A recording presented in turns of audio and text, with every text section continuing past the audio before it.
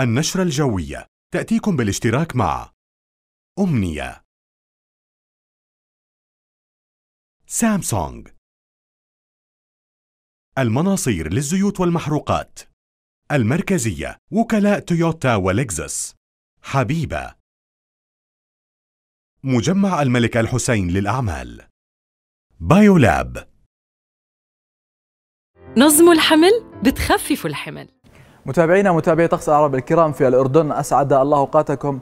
بكل خير وصحة. ننقل معكم الآن آخر التحديثات وتوقعات الحالة الجوية اليومية في المملكة خلال الفترة الماضية. تأثرت المملكة آه، الليلة الماضية ولغاية ساعات صباح هذا اليوم بمنخفض جوي وعبرت البلاد آه، مساء الأمس جبهة هوائية باردة تابعة لهذا المنخفض الجوي خطرت على إثرها الأمطار الغزيرة في عموم المنطقة الشمالية والوسطى وتساقطت وتراكمت الثلوج فوق قمم المرتفعات الجبلية العالية الشمالية في حين لم تسقط الثلوج المتراكمة في مرتفعات العاصمة وسائر مرتفعات وسط المملكة العاصمة والبلقاء واقتصرت على الثلوج الممزوجة في الأمطار. في حين حصلت كميات أمطار هامة وممتازة جدا للموسم المطري الزراعي. ننتقل معكم الآن للحديث حول آخر توقعات الفترة القادمة. بقايا المنخفض الجوي تؤثر آه، هذا اليوم الأربعاء بقايا المنخفض الجوي الكتلة الهوائية الباردة والرطبة المرافقة أجواء باردة غائمة ضبابية مع استمرار هطول زخات متفرقة من الأمطار وزخات متفرقة من الأمطار المخلوطة بالثلوج فوق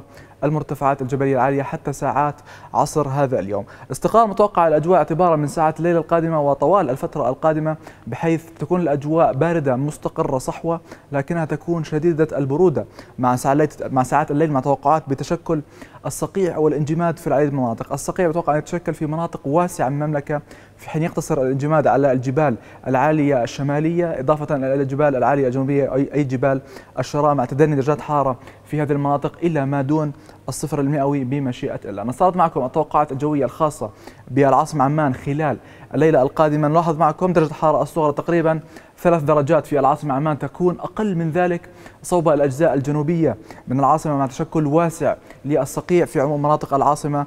آه، نسب الرطوبة مرتفعة جدا كذلك الحال تراجع كبير في نسب في سرعة الرياح وأجواء آه، قليلة الغيوم إجمالا خلال الليلة القادمة. التوقعات الخاصة بالثلاث أيام القادمة نلاحظ معكم ارتفاع على درجات الحرارة خلال ساعات النهار كما هو مبين الخميس والجمعة والسبت تبلغ يوم السبت 13 درجة مئوية في حين تبقى الأجواء باردة مع ساعات الليل مع تشكل واسع للصقيع.